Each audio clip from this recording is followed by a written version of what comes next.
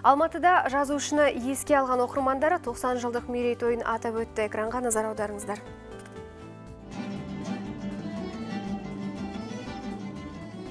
журналист жазушы соғыс ардагері әзілхан нұршайықовтың 90 жылдығына арналған түрлі байқаулар жыл бойы еліміздің барлық аймағында ұйымдастырылды мерейтой қорытындысы қазақстан жазушылар одағының қолдауымен мұхтар әуезов атындағы академиялық драма театрда аталып өтті әзілхан нұршайықов 1922 жылы 15 желтоқсанда бұрынғы семей облысы жарма ауданына қарасты келін сүйегі ауылында дүниеге келген.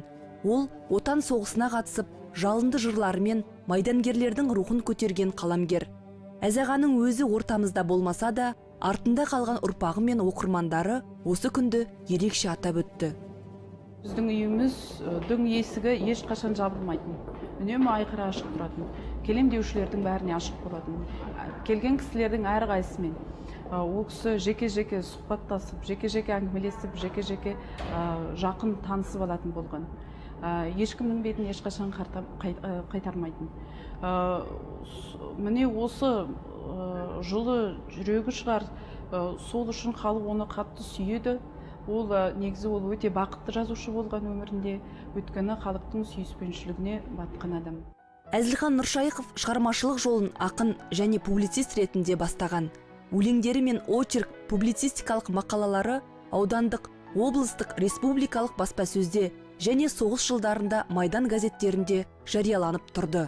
Мәңгілік махаббат тақырыбын ту еткен махаббат қызық мол жылдар романы жастардың сүйікті шығармасына айналды. Бұл туынды оқырмандардың іздеп жүріп оқитын кітаптарының бірі. Ал ақиқат пен аңыз романы аты аңызға айналған ұлы тұлға бауыржан момышұлы туралы жазылған. Бұл жазушы шығармасының шырқау биігі саналатын туындылар.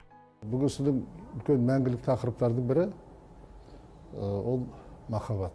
Халима апаймен екеуінің арасындағы керемет бір жақсы ықыласты сол махаббат мәңгілігінің рухындай болған екі кітабы жазылды.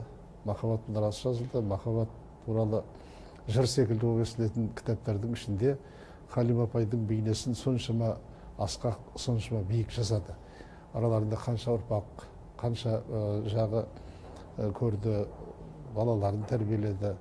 Халима апай оңынан жолыққан шын мағынасындағы үлкен ұлы махаббаты болатын біздің әзағайының ол кісіден он төрт он бес жас кішіміз. Бірақ ол кісі соғыстан кейін университетті бітіргеннен кейін сол біздің біздің жақта ауылда істеді. Жарма ауданында семей облысы. Одан кейін кейін өсіп семей облысында сосын анау павлодар облыстарында облыстық газеттердің редакцияларын басқарды. Іні ретінде бауыр ретінде әрі жерлес ретінде бірге анда санда кездесіп сөйтіп жүрдік. Ол кісінің талай ақылын естідім сәбит досанов тұрсынбек кәкішев нығмет рахметұлы сынды. Ел ағалары әдебиеттің үлкен жүгін көтерген қабырғалы қаламгердің өмірі мен шығармашылығы туралы естеліктер айтты.